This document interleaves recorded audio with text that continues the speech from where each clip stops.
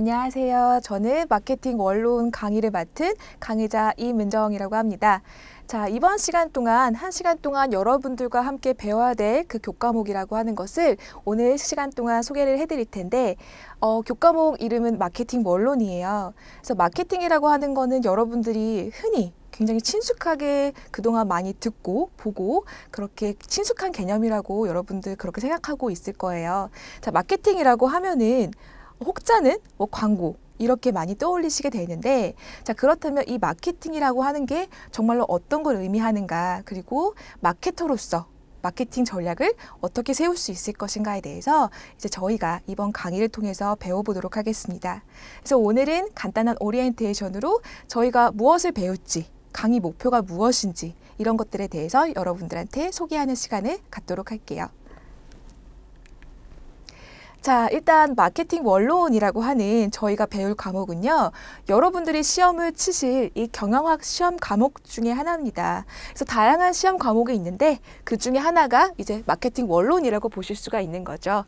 그래서 마케팅 원론이라고 하는 거는 말 그대로 마케팅에 대해서 가장 기본적인 개념을 다양한 개념을 기본적인 개념에 대해서 배우는 그런 교과목이라고 보실 수가 있겠습니다. 그렇다 보니까 여러분들께서 물론 내용은 그렇게 어렵진 않지만 굉장히 많은 범위를 공부를 하셔야 된다는 부담감도 있겠지만 이제 이 교재와 본 강의를 통해서 여러분들이 충분히 기본 이론을 익히시고 복습하시고 그리고 시험 준비를 하실 수 있도록 저희가 도와드리도록 하겠습니다. 네, 마케팅 원론의 그 본 강의 목표를 먼저 세워보도록 할게요. 자, 가장 먼저 마케팅의 기본 개념과 의의를 살펴보겠습니다. 마케팅이란 정말 뭘 의미하는 거고 그렇다면 이 시장 경제에서 마케팅이 가지는 의미가 무엇일까, 그 의의가 무엇일까에 대해서 어, 간략하게 살펴보도록 하겠습니다. 그리고 이 마케팅이라고 하는 것이 본래 소비자와 굉장히 밀접한 관련이 있습니다. 왜?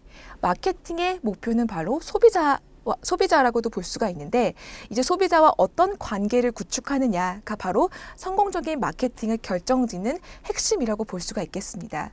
그래서 저희가 배울 것이 소비자가 어떤 의사결정 과정을 거치는가 즉 구매를 하고 그리고 그 브랜드랑 어떤 관계를 맺을 때 어떤 과정을 거치는가 이런 것들에 대해서 좀 배워볼 거고요.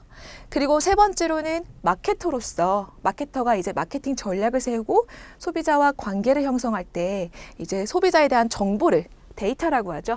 데이터를 수집하는데 어떻게 그런 정보를 수집할 수 있는가 그런 방법에 대해서 배워보고요.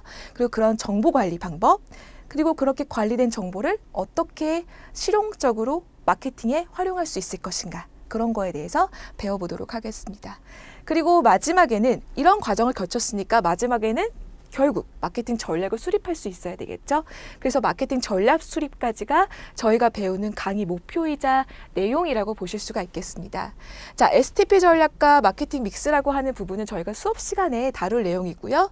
저희가 본 강의에서 반 이상을 차지하는 굉장히 중요한 전략 수립 방법 중의 하나입니다. 그래서 여러분이 마케팅 전략 수립 내용을 조금 더 중점적으로 알아두셔야 될 필요가 있을 겁니다. 네, 그리고 강의 소개, 강의 구성에 대해서 좀 알아보도록 할게요. 자, 기, 강의 구성은 기본적으로 기본 이론을 여러분과 함께 배울 거고요. 그리고 문제를 풀이하고 핵심 요약을 같이 하면서 좀 복습 과정을 거칠 거예요. 그리고 기출 문제, 실제 어떻게 문제가 나오고 있는지 여러분들이 실전 연습을 함으로써 조금 더 시험에 여러분들이 철저하게 준비할 수 있도록 도와드리도록 하겠습니다. 자, 기본 이론에 대해서 먼저 이 어떻게 구성이 되어 있는지 간략하게 살펴보면요. 마케팅 개념과 전략의 의미나 개념에 대해서 간략히 먼저 개괄이 들어갑니다. 그리고 소비자의 그리고 소비자와 그런 구매자 행동이라고 하는 것이 바로 아까 말씀드렸던 그런 의사결정 과정, 정보 처리 과정이라고 보시면 될 것 같습니다. 소비자 행동과 어떤 정보 처리의 그런 과정을 소비자를 이해하는 그런 과정이라고 보시면 될 것 같습니다. 그리고 마케터가 어떻게 이런 소비자를 이해할 수 있도록 데이터를 수집하고 정보를 수집하고 관리하고 활용할 수 있는가에 대해서 배우는 게 바로 마케팅 정보 관리 부분이고요. 그리고 이제 드디어 들어가는 것이 마케팅 전략을 여러분들께서 배우게 됩니다. 가장 먼저 STP라고 하는 것에 대해서 배울 텐데요.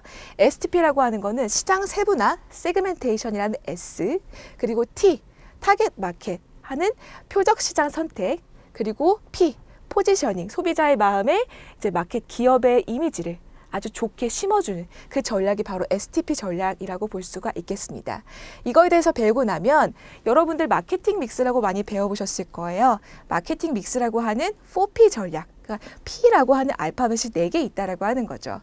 그래서 제품, product, 그리고 가격, price, 촉진, 프로모션, 유통, 플레이스라고 하는 이 네 가지 마케팅 믹스에 대한 개념을 여러분들과 함께 살펴보도록 하겠습니다.